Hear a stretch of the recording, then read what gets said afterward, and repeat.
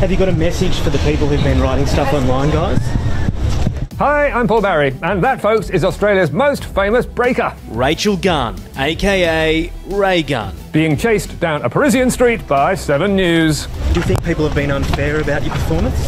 And Raygun's crime? Breaking Bad. Up against the world's best, the 36 year old opted for a more creative tack. A creative tack which blew away Olympic judges. Raygun didn't score a single point. You have to ask, was her performance that bad? Well, unfortunately, it was. And you know you're in trouble when Sky's Rita Panahi claims. With 100% certainty that I could do better. As she took the piss out of Raygun's day job, which won her a PhD in cultural studies, with obtuse papers about how breaking at the Olympics will impact Australia's settler colonial structures that rely upon radicalised and gendered hierarchies. Which had Sky's Paul Murray volunteering to mark her thesis. You know, what a wank. I don't care. And the overseas media were also giving her the thumbs down. I think she brought shame to both breakdancing herself and and Australia, frankly. People were saying, is she touching her toes? Is she trying to kick her duvet off at night?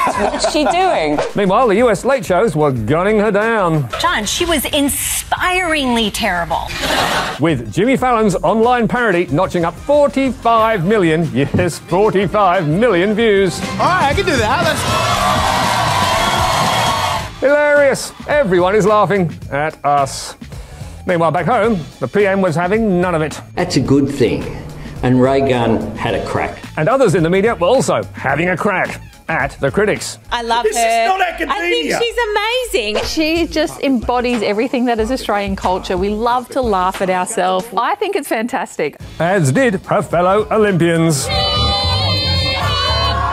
So, what next for Dr. Raygun? Well, celebrity agent Max Markson and marketing whiz Dee Madigan reckon her fame is so big she could soon be making millions from endorsements, public speaking, and reality TV appearances. Yes, the world is that crazy. But her biggest legacy could be her quirky dance moves. I mean, the kangaroo hop was sort of weird. Oh, that is iconic. That is and iconic. The, and then the yeah. goanna thing. That's going to be our new Nutbush. and we all know how much we love the Nutbush.